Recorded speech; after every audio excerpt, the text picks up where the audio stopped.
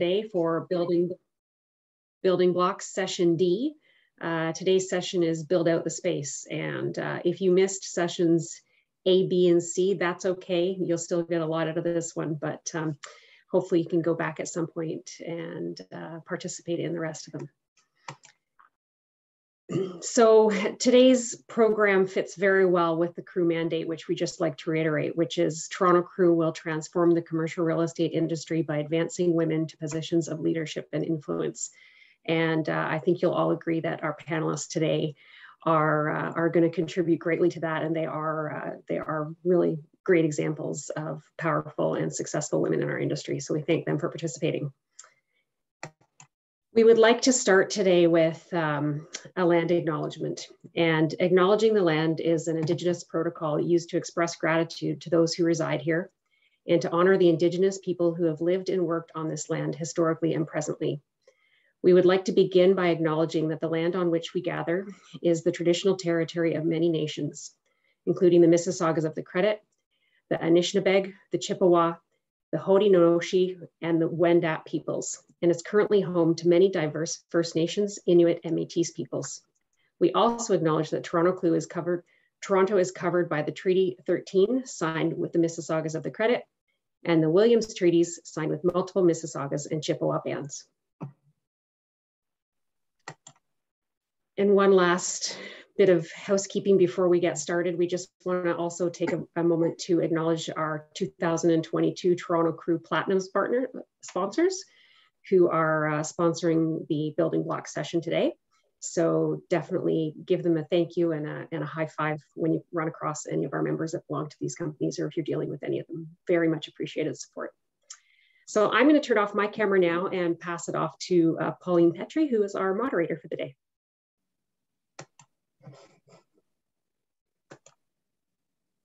Apologies. Welcome, everyone. I'm Pauline Petrie, uh, executive with X Design Inc., an interior design firm.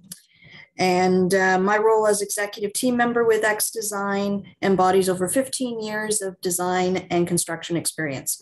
I'm able to assist our clients from the initial project review and scope development. And I do participate in some of the more complex project during the planning and construction admin phases. I have been a member of Toronto Crew since 2018.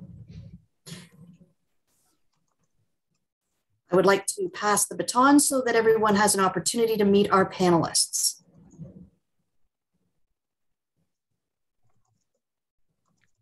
Um, so I'll start. Hi, I'm Sylvie McIntyre with Oxford Properties Group. I'm the uh, manager of design and construction for our uh, Toronto office team. So I look at after a few of our downtown office buildings, which includes overseeing all tenant construction for uh, for office spaces as well as urban retail. And my role in a project is uh, in a tenant project is um, I'm involved from start to finish, from the initial site reviews, um, building information, um, approve drawings when they are ready, and stay involved through the entire construction and closeout process to represent the building owner and uh, assist where needed with the successful completion of the project. Hi, everyone. My name is Alexis Herr, and my company is Alexis Herr Consulting. We provide project advisory and management services. And I started the company in 2016 after being in private practice for about 10 years. So we work on all types of projects with many different clients from tech startups to institutional clients. Um, but my role in today's webinar is to speak about the role of a project manager and perhaps why you might consider working with one for your project. Vera Gizerov, Project Director at IA Interior Architects. I'm a licensed interior designer um, and now practicing as a project manager or a design project manager, so different from Alexis. Um, I've been in the industry for about 22 years. Uh, majority of my experience has been at large architecture firms in Toronto, um, where I've, I have focused on uh, workplace design for clients across Canada and US. I've been a member of Toronto Crew for over 10 years now, sitting on many different committees um, and the board. Um, yeah, lots of lots of different roles. Hi, everyone. Uh, Taline Tajarian. I'm a building envelope senior project engineer at UL Business Solutions uh, Canada. I have over 25 years experience in managing multidisciplinary teams in building services, sciences, and uh, engineering consulting projects. These involve usually capital expenditure planning uh, uh, for portfolios of buildings, uh, building envelope investigations, rehabilitation design, and construction project management. I've been a member of Toronto Crew uh, since 2018, and I'm here on this panel representing the engineering disciplines that are needed in similar projects. And I am Maria Williams. I'm representing the contractor group today. I have been in the general contractor construction side of things for the past 20 years of my career. I started my career in the US and moved to Toronto uh, over five years ago with my husband and four children. Uh, we live on the east end of Toronto, and I have experience in a variety of different projects. Uh, today, we're going to be speaking mostly about tenant improvements, and I look forward to telling you about the things uh, to work look out for uh, on the construction side or what contractors will be paying attention to on the project. Um, and I'm a project director at Chandos. I think I forgot to mention that at the beginning.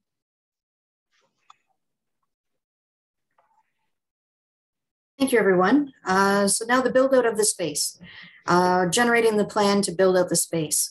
We will begin our presentation with an overview of the investment activity in Toronto, followed by some information on trends to watch that are affecting the industry and sectors within.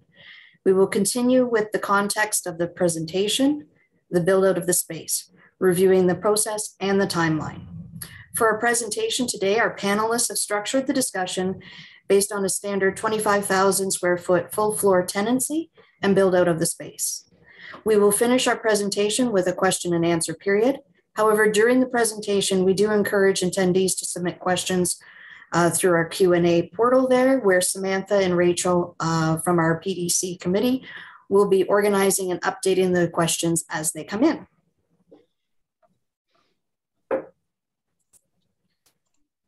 So looking at the current market conditions and an overview of investment activity in Toronto, according to the CBRE Q4 2021 report, uh, this is an outline of market investment activity breakdown, uh, year over year change, and what has happened in the past quarters in 2021, where you will see that there's actually quite a significant amount of continued investment in all sectors within the construction industry, um, with only a, a slight decrease in the multifamily sector. And then looking at trends to watch uh, from the Colliers 2022 CRE Trends Report, um, they're outlining with respect to our economy, uh, the shortage, the labor supply shortage, the Russia-Ukraine crisis, which is now a, a war that we're uh, seeing uh, happen before our eyes, inflation, COVID and Omicron, interest rates, housing affordability, and other impacts uh, to the office, returning to office, and the new workplace practices, um, flexible workspaces, industrial, e commerce, occupancy gains. In the retail, uh, some of the changes that we're experiencing and trends, multifamily, uh, housing affordability being a key factor, in capital markets as an overview, uh, we realize that you know the trends, the investment activity um, that we've experienced have affected and impacted our design and construction industries. Uh, but it looks like the we're still strong, and everybody is extremely busy in our industries. So looking at the project team, we're beginning to look at a project and who comprises the project team. What are the, some of the criteria that affect the selection of the team? Alexis and Sylvie? Um, so for a uh, for any tenant project, what we're looking for as a landlord um, at minimum is you would need to have a designer and or an architect, um, as well as a mechanical, electrical, and communications engineer. The that at minimum um, comprises a project team for um, any tenant project, and that's what's submitted to us for review at that stage of the project.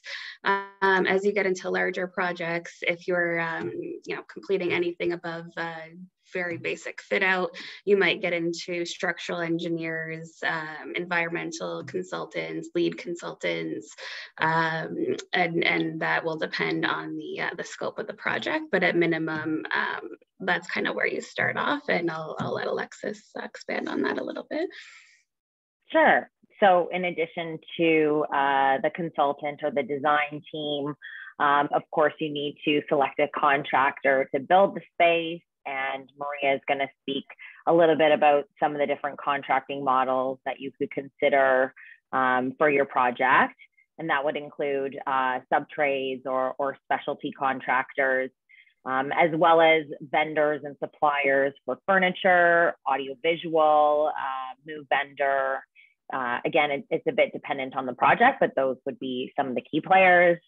Um, and of course, Sylvie being the landlord, always involved throughout the project, and um, the project manager. So um, we'll talk a little bit more about what the role of a project manager is, but um, from my perspective at this um, initial stage of the project, what's important is to match the consultants and the contractor to the size and scale of the project, um, as well as, uh, you know, a team fit. So there are some companies which are better suited to more complex, um, larger fit outs, and then there's firms that specialize more in interiors. Um, so I think that's uh, something that a project manager can assist with when you're looking at selecting the project team.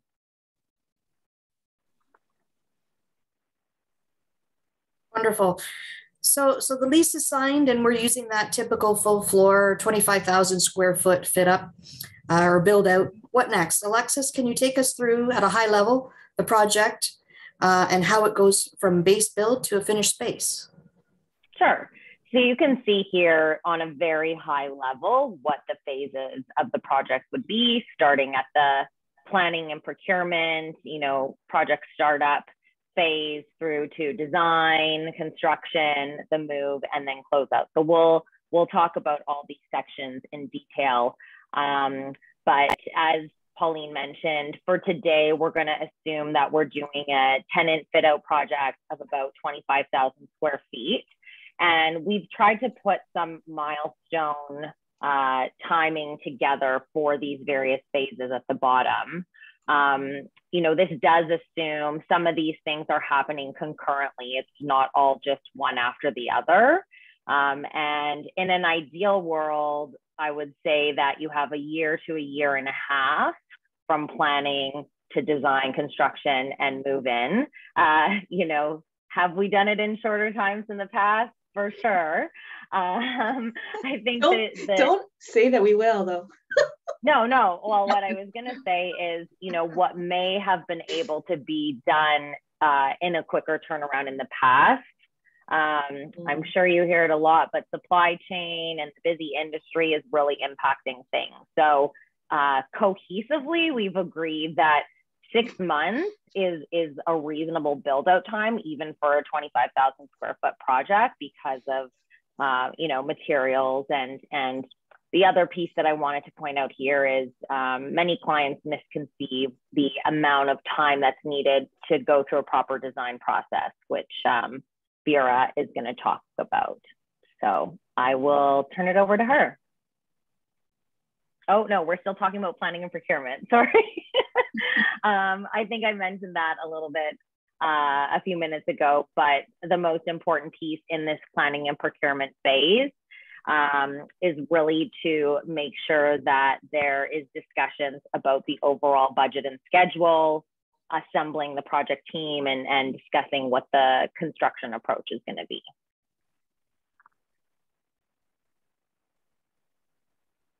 And Sylvie, can you highlight the benefits of a client engaging somebody like yourself uh, on the landlord side, um, or or yourself, Alexis, with with respect to the services of project management?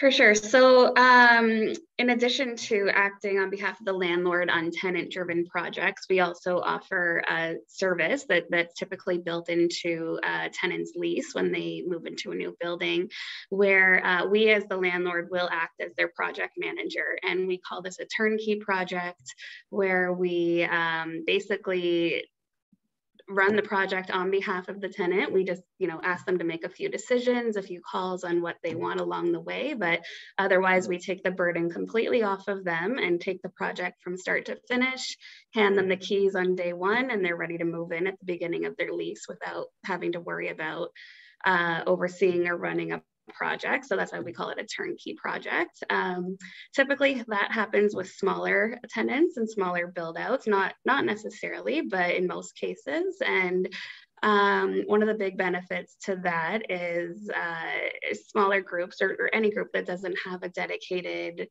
um, facilities team that uh, has experience in project management. They might have, uh, you know, this might be the one time in 15 years that they've relocated.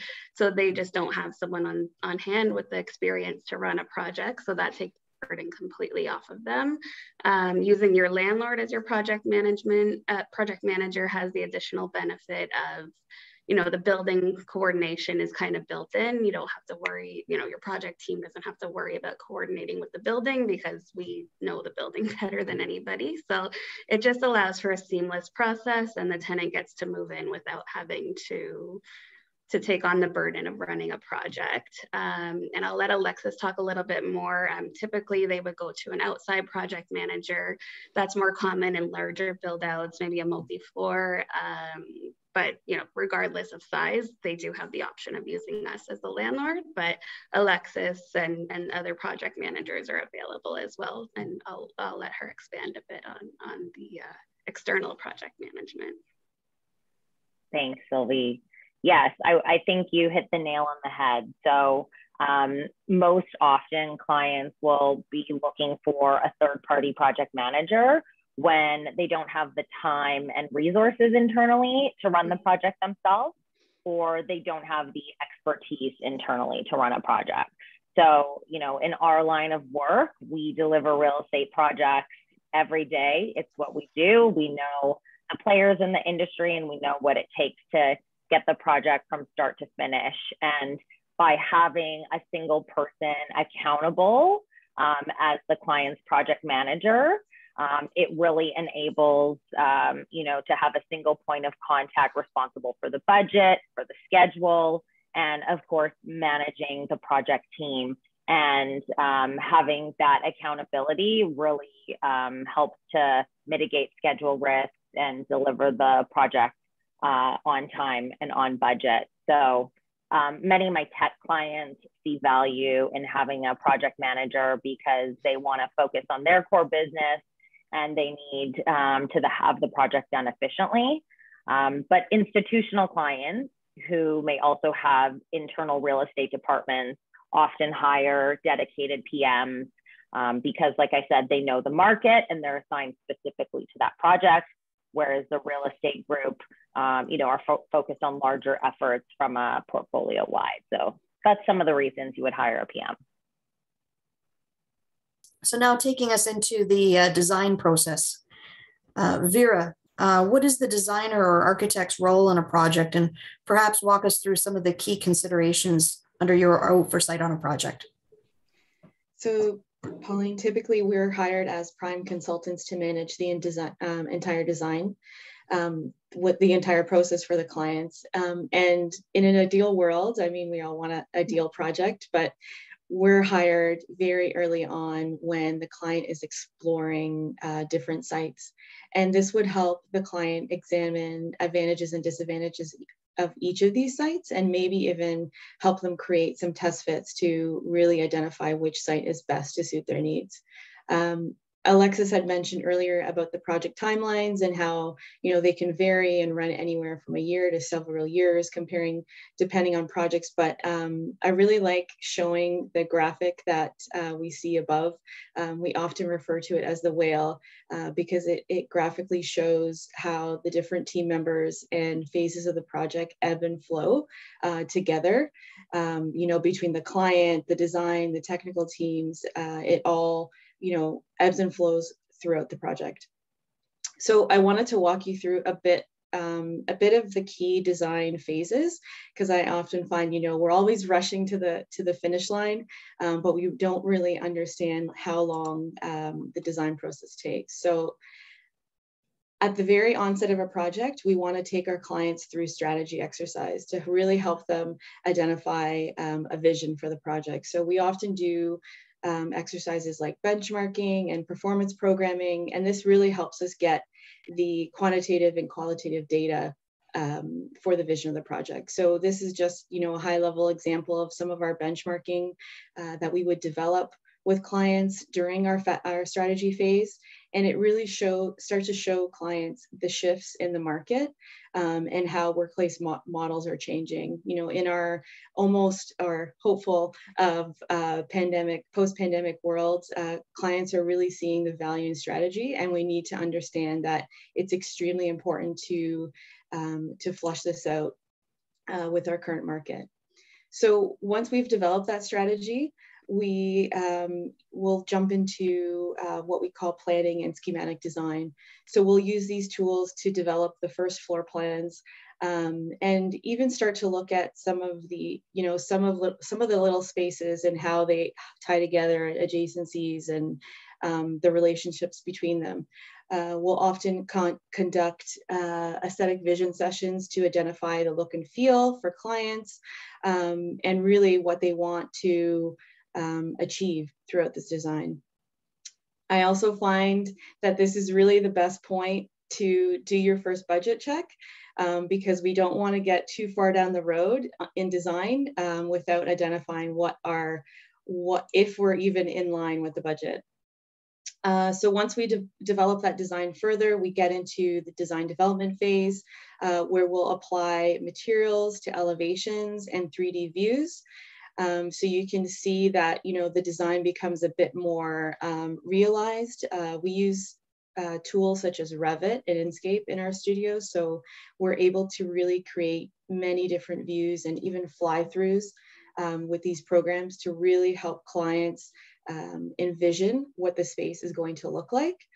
And, you know, this is even the stage that we are starting to coordinate with engineers. So uh, can, you know, jump in at any time here and, and start to talk a bit about um, how our teams start to coordinate together.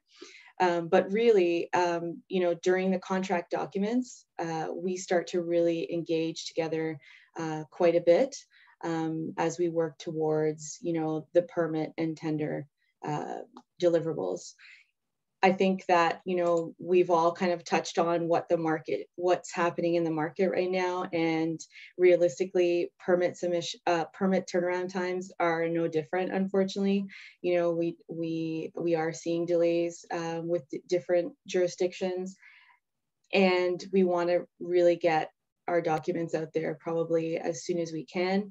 Oftentimes we'll, you know, we'll submit permit drawings that are about, you know, 65 to 75% um, uh, coordinated and produced. So that way we have, you know, at least life safety um, on the drawing so we can submit um, early and then continue to coordinate uh, for tender. Vera, you talked about um, the importance of putting a budget together early. Mm -hmm. Can you mm-hmm. just talk about who does that budget and how um, you get that done? So early on, um, you know, we really want to make sure that we have Maria on board. Um, so we'll have a construction manager on board, um, and she'll talk a bit about, you know, how um, what kind of um, contracts uh, construction managers can uh, can take on uh, these days. But it's really important, especially in this market, to have that construction manager on board early, not only for budgeting, but also um, looking at those long lead items because, you know, we can start to think ahead about lighting and uh, finishes and appliances or, you know, mechanical equipment that are so delayed these days that they can even start to uh, pre-release uh, some of those packages uh, to help with uh, the deadlines down the road. Yeah, I'll just add like we love to be your go-to for budgeting because um, we do feel we add a lot more value than just the number. Uh, but there's also, you know, third-party cost consultants. Um, and I think some architecture firms or Alexis also would be a great resource in pulling budgets together in the very early ends of the um, project.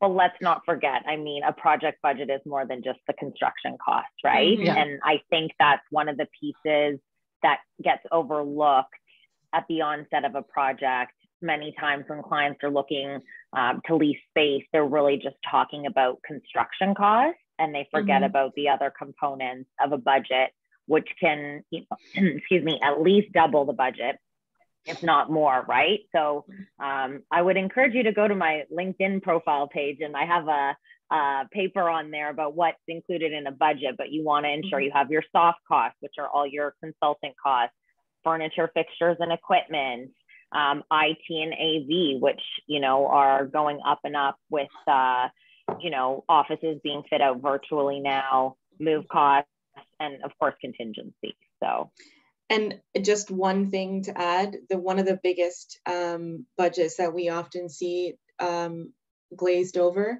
is um, um environmental glass graphics or experiential graphics. Um, that is a huge design element these days. Um, and it's often you know really small in the budget but it's becoming much much larger um, in the way of like 3d elements and lighting and um, you know so those those can make a huge impact to the space um, and they often get overlooked in budgets unfortunately. I say almost as important as budgets it's the coordination um, mm. and Vera, you know, perhaps you can, uh, you and Taylene can can go into, you know, the contract documents and coordinating with the engineers.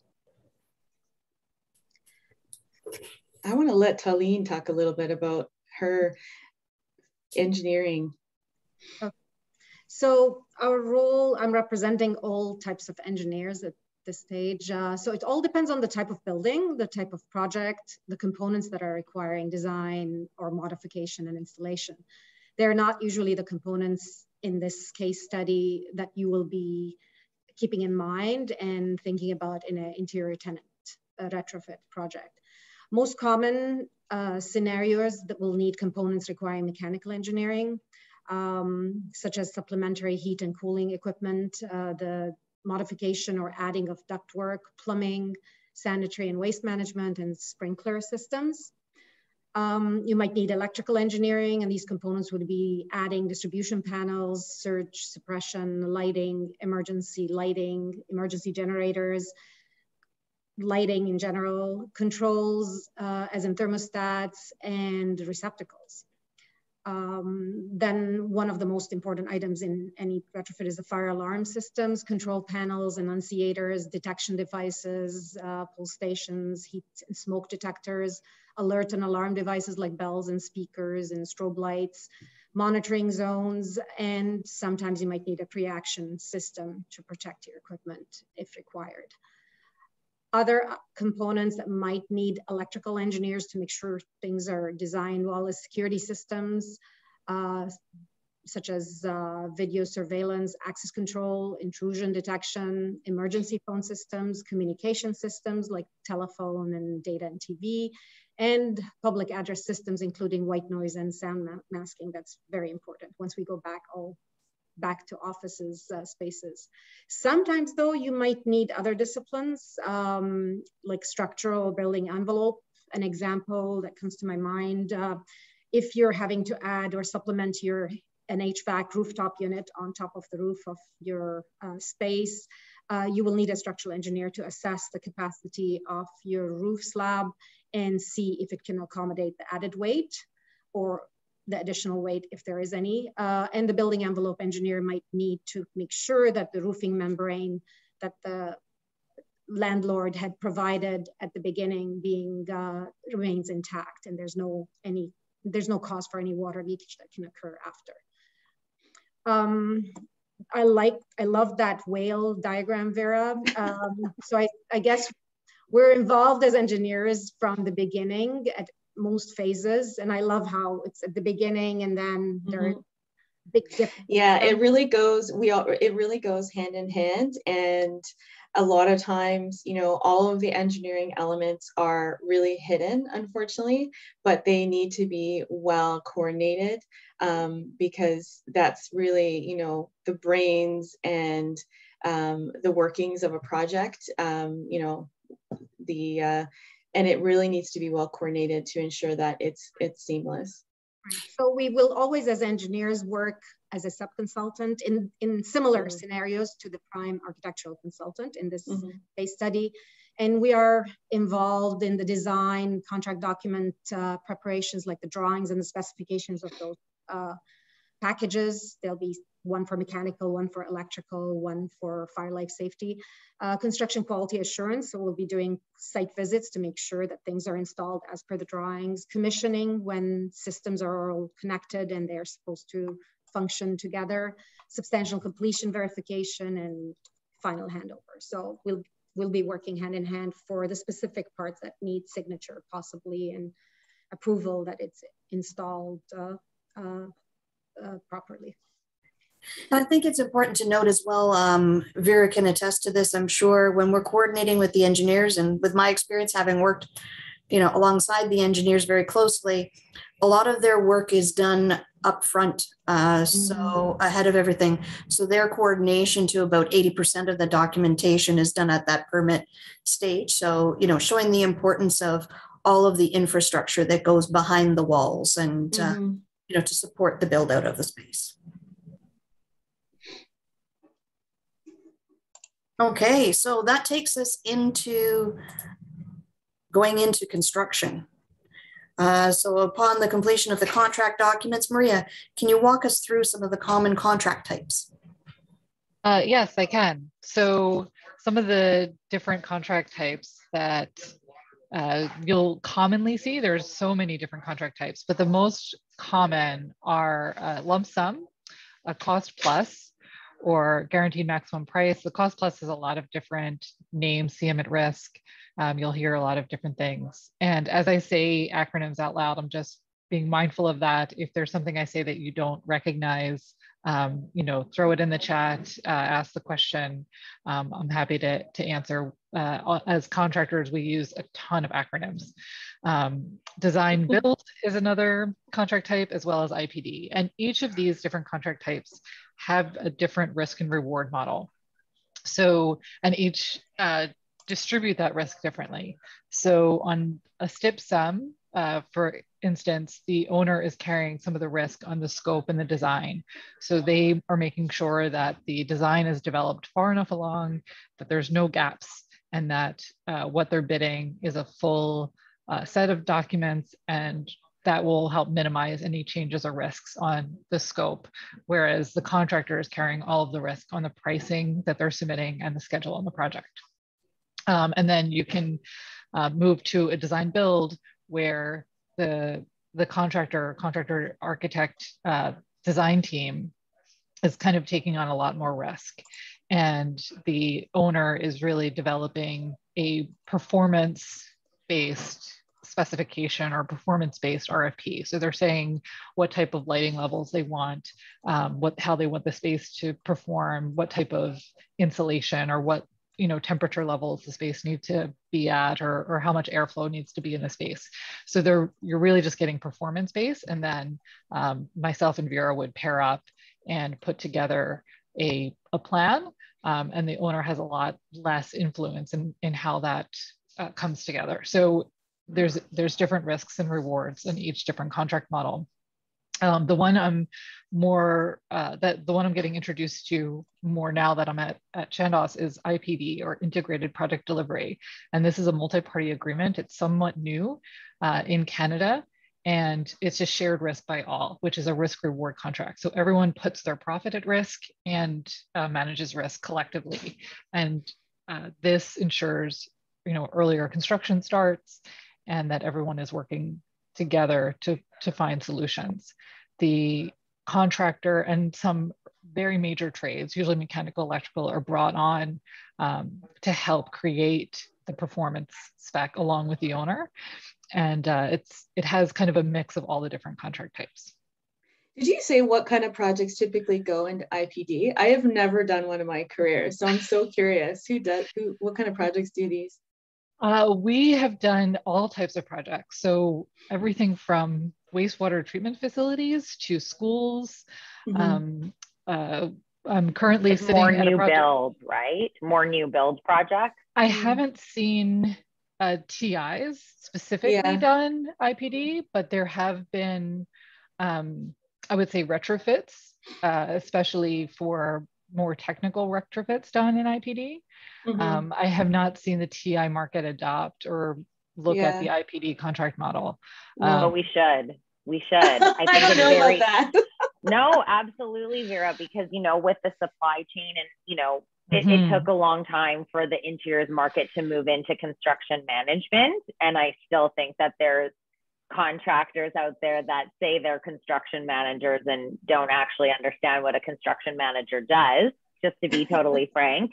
Um, but I think the IPD model is a huge opportunity for the interiors market because we're seeing, you know, schedules contracted, we're seeing, you know, supply chain challenges grow and um, you know every client wants to do more for less so sharing that you know it, it, it's sort of like a proactive design as you go. And as maria said the shared risk reward model i think it's a huge opportunity. It's scary sharing your risk i'll tell you that. Um, and it definitely the and the level of transparency is um, pretty pretty wild. Um, the amount that the owner gets to see and be a part of um, you know it's it's really helpful for someone like alexis to be a part of it to to help moderate that a bit. Um, but yeah you get to see a lot more of what's happening and you're everybody's involved. So on IPD, the other thing that's that's just notable to me is that we typically have like a one day, what we call a big room session, where all the architect, the contractors, and the and the designers and owner are all in the room together, uh, working through all of the things that we need to solve, all the decisions that we need to make, um, and it's amazing how much work uh, gets accomplished in that in that day. collaborative Mhm. It's like extreme collaboration. like to see that extreme collaboration. Yeah. Okay. Um, Uh, Yeah. Construction, uh, site logistics, to kind of rolling out the project once we get moving. yeah. So, regardless of contract model, one of the first things your contractor is going to do uh, once uh, brought on board is look at the site and the site logistics. Um, some of the key things we look at here, uh, I have photos of a loading dock. Is there a loading dock in the building? How are we getting materials in? Where are they getting delivered to? Can you fit a large uh, trailer or do you have to specify when you're bidding the project to your subtrades that they can only bring in box trucks or or or smaller um, you know especially in some of the side streets in toronto that's a, a really key thing to look at is how what size material can get in and how are you getting it in um, you know once you figure out where you're loading it into where are the freight elevators or where is the elevator My how big is favorite the is, trying elevator to get panels into the elevator. it's like you design this beautiful walnut veneer wall and then you can't get it into the building.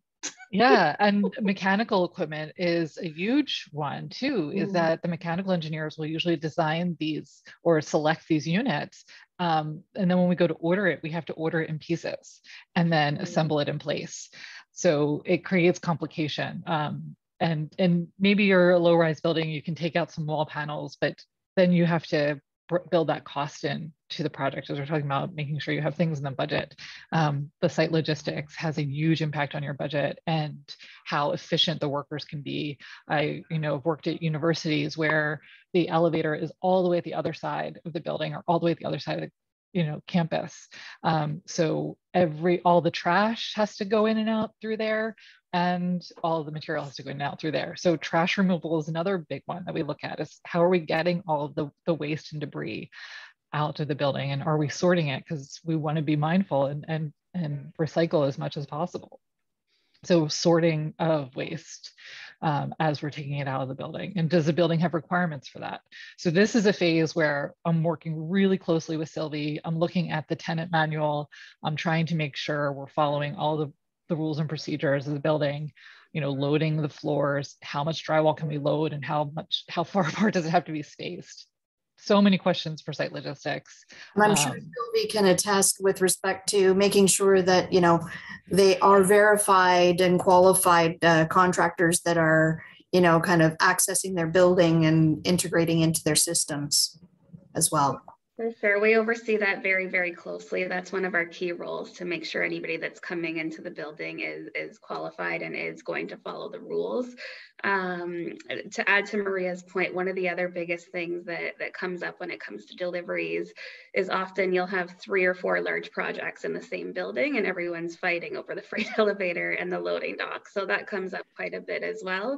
And you know that that's something that needs to be in, taken into account. Also, you might have to do your delivery at two in the morning just because that's the only time you can. so there's a lot of that as well, coordinating with other projects on site. Yeah, so it, if you want to go back to the last slide, um, I had a, a couple photos up there for showing how after we figure out the site logistics, the next thing we'll, we'll, dive into is the coordination of the space. And I wanted to show some of the behind the scenes. I thought the picture on the far right really shows above ceiling all the things that need to go in. Usually that's hidden, right? You usually have a finished ceiling and you don't see all of the structure, the ductwork, the wiring, the you can see the detector hanging on the wood ceiling, which probably is not the way Vera envisioned that beautiful wood exposed plank to be, but you have to have detectors and where else are they gonna go? um, and the light fixture said how much space above ceiling that light fixture takes up. So really um, spending the time coordinating because you have to get all of these things coordinated before you can order the materials because uh, you want to order the right length, you want to uh, make sure everything is the right size. Um, some of the other coordination items um, in the desk picture, uh, there was an open office space. So we need to put in floor boxes to access mm-hmm. power and wiring um, or, you know, internet. And so in an open office space, you have to put in a floor box. Where is the power coming from? The floor below. Are you renting out the floor below? Probably not. So you want to make sure you're coordinating with Sylvie, you're coordinating with the other uh, tenants if they exist. You're likely doing that work off hours um, to install those additional, um, you know, all of the all of the things that are that happen behind the scenes, under the slab, in the walls, above the ceiling. Um, and then this construction timeline really shows you overall, um, you know, from from mobilization to turning over, you know, all the steps that happen. And you can see the layout and the rough-ins for mechanical electrical happen pretty early in the process. And the coordination of those items happens even earlier. So the sooner the contractor is involved to help get coordination done and make sure everything um, can fit into the building and can get loaded into the building, uh, the more smoothly your project will go and and not to forget uh, the importance of moving into the space you know once we've completed the construction of the space uh, alexis um, you know when does the move plan begin? So contrary to popular belief the move is about more than just the physical uh, move weekend. And um, you know should not be left until three or four weeks um, before you're moving into the space and so that's why Move Management is actually um, a service that my company offers because this is an opportunity to employ some change management and really make the move a positive experience um, for the new occupants. so, um, you know, the planning should begin at minimum three to six months in advance, depending on uh, the scope of the move. You know, if it's 25,000 square feet, I would encourage, you know, four to five months in advance. And um, it would begin by appointing a move committee or move champions. And so this is an opportunity to bring together key stakeholders in the organization, um, you know, at all levels and really engage them in the process um, because they can help support communications out to the larger group. Um, but of course, also make sure that all the different um, pieces are integrated. So that would include HR, leadership, IT. Um, and from there, of course, you're going to have a move schedule, which is going to outline all of the activities working back from the, the move weekend. Um, and that would include defining the move scope of work, getting quotations from physical move vendors, um, all the IT activities, which could depend on whether you're moving the server room or if that's net new, um, bin delivery, move instructions, and um, you know seat assignments to uh, where people will be sitting.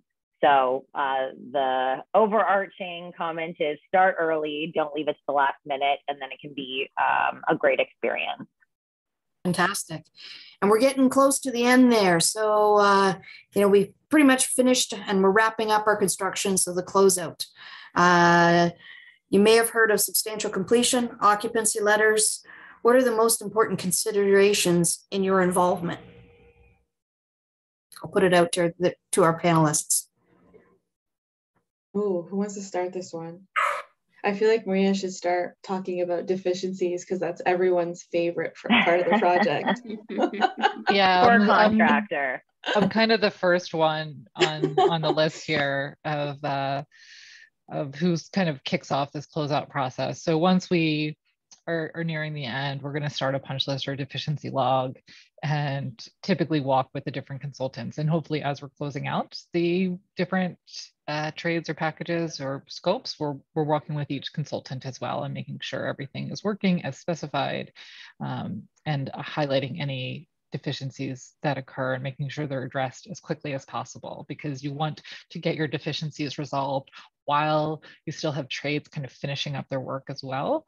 Um, mm-hmm. Once they leave site, as it is with all of us, once you move on to the next job, it's hard to go back and fix things uh, or deal with things that happened on the last project you were working on. Um, and to that end, we also look at getting the O&M manuals or operations maintenance manuals uh, for those who don't use all the acronyms uh, together and um, as well as the as-built drawings. So as-built drawings are done as we go, um, marking up where, where are the valves, where um, are you know different things behind the walls that you can't see um, and in relation to the drawings may have had them in a schematic form and then we'll we'll mark out the actual dimensions for that. Um, those things as they get turned over really important to give to the landlord so sylvie um, will take on those things especially the maintenance manuals as vera mentioned all of those special graphics or special materials that you have in your space knowing how to care for them and clean them, um, you want to make sure the cleaning crews that are coming in have access to those maintenance manuals and they're not using cleaning products that void your, void your warranty. Um, so critical to coordinate that with the building management. For sure, then, yeah. The uh, the closeouts play a really critical part in in our role as the landlord because as the tenant is going to use the space going forward, we want to make sure our operations and property management team has all that information available to them, whether it for be whether it be for cleaning or um, HVAC systems tends to be a big one where you know a year later you get a call and you have to refer back to the air balancing report that. Um, that was submitted as part of the closeout. So we are we are very much on top of making sure closeouts are received and all deficiencies closed in a timely manner. Um, the permit is also very key for us as landlord. We do not want to have any open building permits for our building. So we will be on top of the contractor for that to make sure um, everything gets closed out in a timely manner, that the tenant is happy, all deficiencies uh, are closed out um, so that their lease term can begin on a good note and they can run very smoothly once they're in the space. Um, there's also two um, two key elements that we get involved in for the closeouts for both the tenant and the contractor. Uh, for the contractor, um, in order to release them from the project and release the construction deposit that we hold uh, throughout the project, um, we do need to receive everything that's listed here, plus a few other things to uh, complete the close process. Um, that releases the contractor from their obligation to us as the building. Um, and then oftentimes tenants will have a tenant inducement allowance built into their lease, which is um, which is basically an allowance given to them uh, to take and make improvements to the space and in turn to the building. And um, we collect the closeout documents as well as part of the process to get that in motion and get the tenant uh, their inducement allowance for the work, which is usually quite a hefty amount. So it's in everyone's best interest to get that to us as, as quickly as possible. So, I mean, we there is one more item, which is the one year warranty review. I think a, a lot of projects don't necessarily do it. Um, we recommend it just because you know you want to ensure that you know products you've specified, materials that you've used are performing um, well, and uh, you don't want to be held with that uh, that flooring that's lifting after a few months. So it's really important to do that. Um, you know, and in an ideal world, um, we'd love to, you know, to open the floor to everyone um, and just think about like, what would our ideal project be? I laugh and I always say that, you know, the best projects are always the ones that you have the, um, you know, a really open collaborative team, because let's be honest, um, there's always going to be issues on a project, whether it's a schedule, it's, you know, material delays, it's, coordination issues, um, you really need to be open and collaborate uh, and collaborate well because you just need to solve problems quickly and open and honestly. What about you guys? Yeah, to jump on that, I would say, um, you know, in the in the five years that I've been involved in project management and you know, as a landlord in tenant projects, there is not a single project where something has not gone wrong. There's always going to be something that goes wrong down the line. Um, so I think what makes an ideal project to me is, is like you said, Vera, having that collaborative group, that collaborative team uh, who, when something does go wrong, which it will, uh, works together towards a solution and moving forward. You don't get caught up on finger pointing or, or looking backwards. And I think that's that's what makes the, the project run as successfully as it can is to have a, a team that's going to collaborate and, and work together um, at any stage, especially when there's when there's yeah, unfortunate. yeah, perhaps that's why Maria's IPD or integrated project delivery model over some of the experiences that we may have heard about or seen or participated in and mm. construction management when it goes wrong or it's not complete. Mm-hmm. Right. Yeah no, IPD all the way. I mean, it's it's really interesting to solve problems um, when you know you can't get material in time, and the contractor isn't just forcing the design team to to create a new spec because in IPD we understand that there's a cost for the designer to do that, um, and you're looking at whether that balances out, and you're not really arguing over, well, it's it'll save me money, but it won't. It'll cost you money. So it's it's more uh, one one um, budget for all, which is it's, it's definitely a, def, a mind change. Um, you know, one of our slogans is one of us is not as smart as all of us.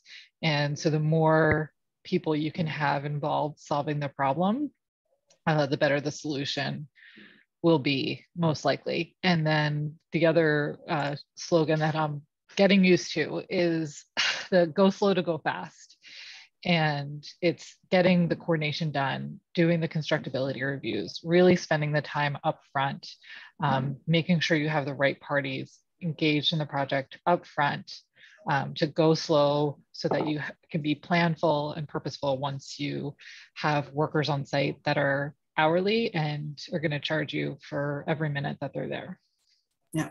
So we do have, uh, I think, some, some time. We do have uh, some panelists that are able to stay on a little bit longer. We did have one question uh, from uh, one of our participants, um, Josie, uh, outlining what about coordination with Bell and Rogers with respect to the building wireless distributed antenna system? Is that the responsibility of the landlord or the tenant to consider and coordinate with those suppliers during construction? Typically, that's part of the construct uh, the consultant team to coordinate through the communications engineer um, with the landlord. Um, so they'll often be identifying where those locations are within the building. Typically, they're they're entering the building at a certain you know at a certain point, and then they're held within a um, you know a base building room um, to enter each floor. Um, and then the communication engineer will, um, you know, work with that and uh, typically coordinate uh, Bell or Rogers, whoever it may be, to to make that connection as part of the project. Yeah, and we as the landlord would work with the general contractor and the project manager during the actual work to coordinate getting Bell or, or Rogers or whoever on site to um, to perform that work. So it's collaborative between us as the landlord and the uh, the project team on site when the time comes.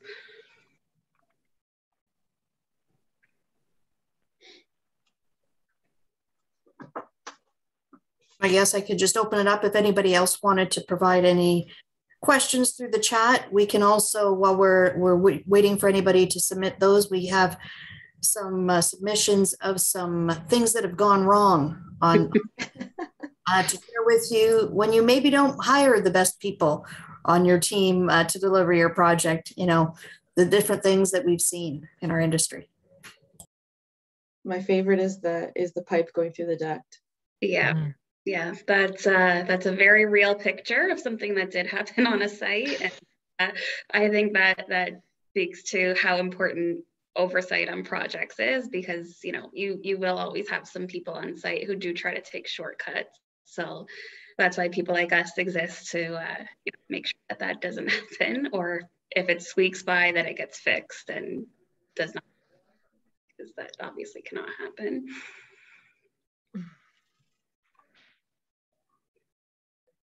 The the one thing we didn't have a chance to talk about today and uh, was how like virtual reality or AI um, is really impacting the industry. I know Vera, you mentioned you guys uh, use Revit. Um, yeah, we use Revit. We also um, we do virtual reality as well. So we are um, we often do fly-throughs and virtual um, walkthroughs for uh, different spaces that we are we're building. Um, so you know, clients can really easily understand what the space is going to look like. I mean, you know, taking a client into a space virtually is just it. You know, it's an amazing tool to help people understand uh, what it's going to look and feel like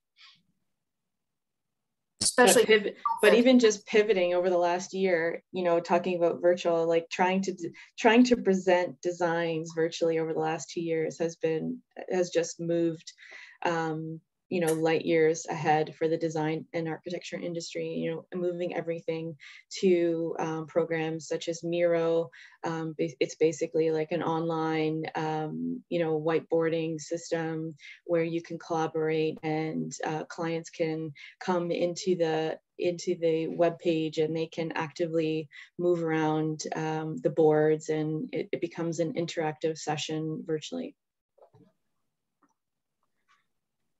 Yeah, we've used Miro a lot um, on our IPD jobs, just to throw mm. IPD out there one more time. well, thank you. Thank you to all of our panelists. Really appreciate the time, uh, not only in attending today's session, but all of the work that went behind putting this presentation together. Um, a testament to some great women in the industry and uh, from our membership of Toronto CREW.